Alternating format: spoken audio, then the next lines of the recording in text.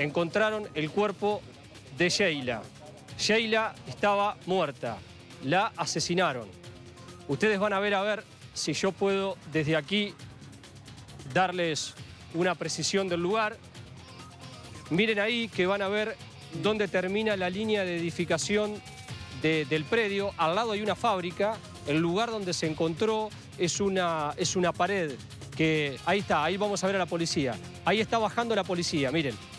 En esa línea de edificación que no está terminada, había una camioneta blanca y en ese lugar, entre la edificación del predio y donde hay una camioneta abandonada, ahí encontraron el cuerpo de Sheila Ayala. Estamos mostrando en vivo y en directo cómo están trabajando los peritos y tomando las primeras fotografías. Esta imagen que estamos mostrando es una imagen fundamental.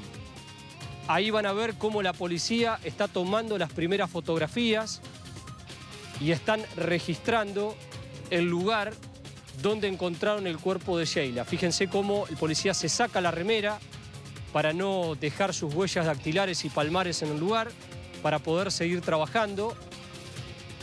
Eh, son policías de, de investigaciones. El cuerpo de Sheila, repito, estaba en ese lugar como habíamos marcado. Si ella no la había eh, sacado alguien por la fuerza desde el portón principal, la duda de los investigadores desde un primer momento era, ¿qué pasa si Sheila no salió del predio, si siempre estuvo en el interior del predio. A partir de ahí, el sospechoso era directamente alguien que vivía dentro de ese lugar.